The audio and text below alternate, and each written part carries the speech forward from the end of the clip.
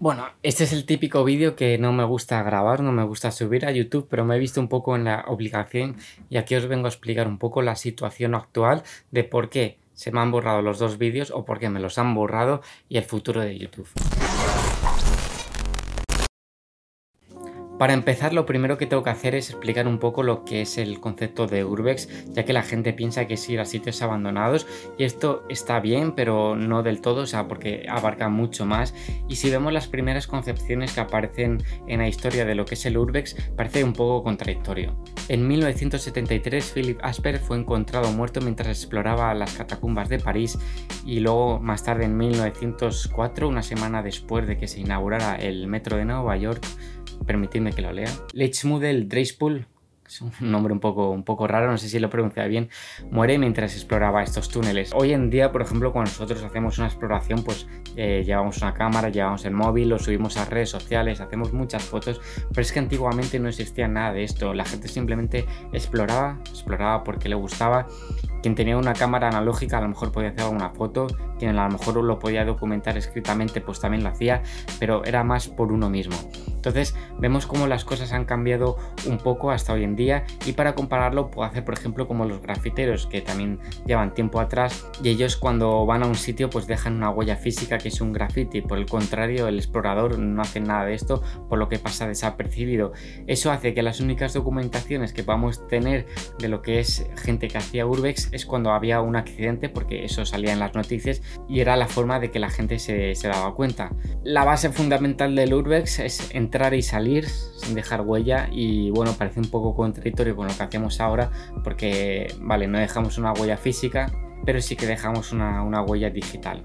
Esto puede ser bueno y también puede ser malo. Bueno porque nos permite documentar un sitio que de otra forma no podríamos hacerlo y malo pues también porque puede ser un señuelo para que vayan otras personas. En mi caso, por ejemplo, quitando gente que pueda ir a robar, a romper o a hacer cualquier otra cosa alejada del urbex. Bueno, para mí también es un poco negativo porque me siento lo que yo pueda hacer pueda repercutir a otras personas. Recordemos que son cosas bastante peligrosas y no quiero que yo por hacer algo pueda influir a otra persona que también lo haga y pueda tener un accidente. Entonces no me quiero definir como el mejor ejemplo de todo esto.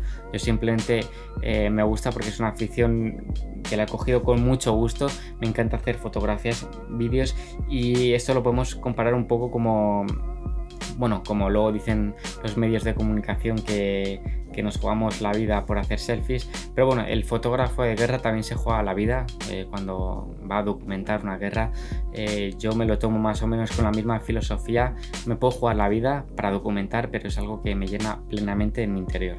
Por otra parte, la visión que pueda dar en las redes sociales, por ejemplo, de felicidad, de que todo pueda ir genial, eh, muchas veces mm, lo que no veis detrás de, estas cámaras es que bueno, hay mucha dedicación, mucha preparación, hay que ser consciente de dónde se va, los riesgos, eh, las medidas de seguridad que hay que tomar y son cosas que yo me lo tomo personalmente, vamos, que le doy bastante importancia, pero que esto no se ve. También está la repercusión legal que pueda tener, porque no es lo mismo ir a una, casa abandonada que muchas veces el dueño ni se sabe quién es, que meterse en una infraestructura urbana, que es mucho más peligroso porque puede tener mayor repercusión legalmente para mí. Eh, como veis, a mí me gusta ir a sitios abandonados, eh, me gusta explorar lo que es el subsuelo, me gusta explorar lo que es las zonas superiores de la ciudad. En definitiva, me gusta hacer un poco de todo yo creo que que ese todo es lo que completa a un verdadero explorador. Canales de, Urbex hay muchos, hay muchos. Yo respeto lo que haga, lo que haga todo el mundo, pero si yo voy, por ejemplo, a una casa, eh, es que no tiene sentido que diga, mira, estoy en el salón, hay un televisor, hay una radio, ahora voy a la cocina, ahí están los fogones, hay una mesa, porque son cosas bastante evidentes. Si no voy a un sitio y no veo la necesidad de contar una historia que realmente eh, pueda ser de provecho para vosotros y para mí, no lo voy a subir a YouTube. Eh, esto viene también que la otra parte, la que es la exploración de, de la infraestructura de mi ciudad, es luego lo que menos puedo subir a YouTube por lo que he comentado anteriormente. Entonces es un poco como, ¿qué hago? ¿Qué hago en YouTube? Eh, me tengo que reinventar, tengo que cambiar el contenido.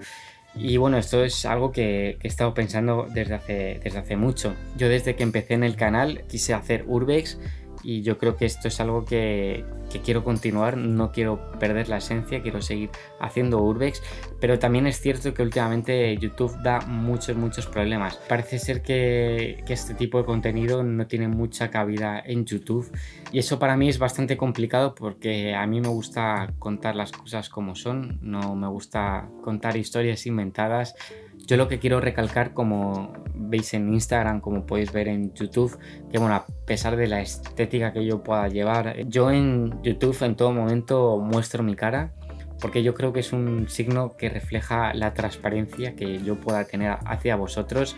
Si me estuviera tapando, eh, sería que quiero ocultar algo, que no quiero mostrar algo que veáis. Y es un poco la forma que tengo de demostrar que, bueno, puedo hacer las cosas bien, las puedo hacer mal, pero este soy yo. Sería un poco estúpido que, fuera a sitios a robar y, mostrar a mi cara. Yo quiero reflejar transparencia total. Voy a hablar un poco eh, ahora mismo del vídeo del Vicente Calderón, el por qué se ha retirado.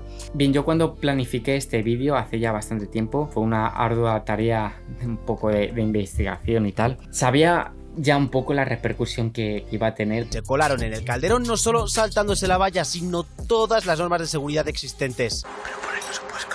Allanaron una propiedad privada, caminaron sobre vigas a medio demoler y recorrieron los asientos o el campo sin ninguna protección. Se jugaron la vida solo por miles de visitas en YouTube y ahora tendrán que jugar un partido ante la justicia. El vídeo salió en las noticias y fue denunciado en YouTube por el Club Atlético de Madrid.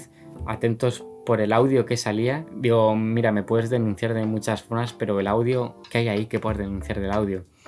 Pero bueno, como YouTube es una plataforma que quiere ingresos, cuida bastante las empresas que dan dinero y al creador de contenido pues lo deja un poco más de lado. Yo bueno, yo sabía un poco la polémica que podía tener este vídeo, así que bueno, yo dije, mira, si me lo borran, acepto las consecuencias, no tiene más, mira, pues ya haré otros vídeos. Entonces bueno, me borran el vídeo del Vicente Calderón, bueno, ya está. Hago otro vídeo un poco más suave, eh, que es la exploración de la Acuópolis, un sitio abandonado que no tiene ningún tipo de riesgo y que a principio no tendría ninguna consecuencia en YouTube.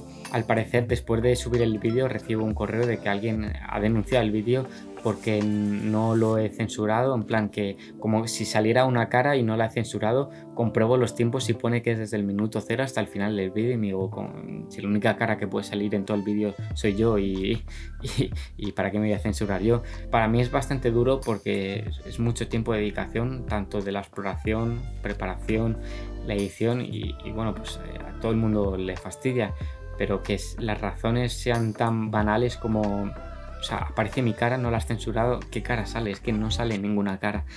Eh, yo sé que eso pues, lo ha denunciado seguramente el Acópolis porque bueno, es una publicidad bastante negativa que da al sitio. Pero bueno, yo también me podría quejar muchas cosas porque igual que a lo mejor yo puedo hacer algo mal, eh, pues por ejemplo empresas como puede esta, el Parque Reunidos, pues bueno, eh, deja un sitio, pone una seguridad que tampoco es poco, o sea, es poco eficiente, deja datos personales sin eliminar, que eso es también bastante denunciable. Entonces, ¿quién lo hace peor? ¿Ellos? ¿Yo? Pero bueno, no quiero entrar en este, en este juego del ratón y el gato porque, mira, se me han borrado los vídeos y ya está. Entonces, bueno, lo que os venía a decir es que no sé si muchos de vosotros lo sabréis, pero bueno, eh, tengo una, una página web que lo voy a dejar por ahí en enlace o en la descripción para que lo veáis donde si yo subo posteriormente un vídeo lo que es en esta plataforma y veis que se borra, pues eh, que sepáis que está en la web. Ahí es que es imposible de que se borre.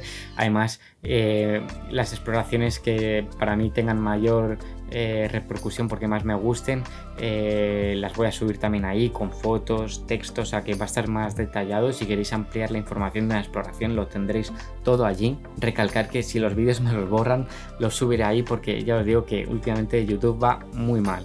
Eh, no me refiero a visitas porque a mí las visitas me da igual, no vivo de YouTube. Me da igual que un vídeo tenga mil visitas, que tenga un millón, que genere 5 euros, que genere mil euros, me da exactamente igual. Eh, yo lo hago esto porque me gusta, porque quiero compartirlo con vosotros y ya está, esos son, son los motivos. Parece ser que de aquí a un futuro voy a estar un poco más vigilado en cuanto a vídeos que suba. Entonces, bueno, voy a tener que tener cierto cuidado. Voy a tener que, que bueno, sumarme al carro un poco de hacer contenidos que sean un poco más dispersos Aunque ya os digo, la esencia del Urbex eh, no, no, acaba aquí. Eh, como bien sabéis, si me seguís en Instagram, para mí hacer exploraciones es algo plenamente que quiero dedicar, es como parte de mi vida. Y lo que no pueda subir aquí, lo subiré en otros lados. Así que espero, bueno, me podéis dejar en comentarios algunas dudas que tengáis que yo me pasaré a responderlas. Tengo cosas que, ya he grabado que son bastante, bastante tochas, que bueno, eh, supongo que las veréis aquí. Si me lo borran, bueno, me la suda, pero así son las cosas. Nos vemos en un próximo vídeo. Hasta luego.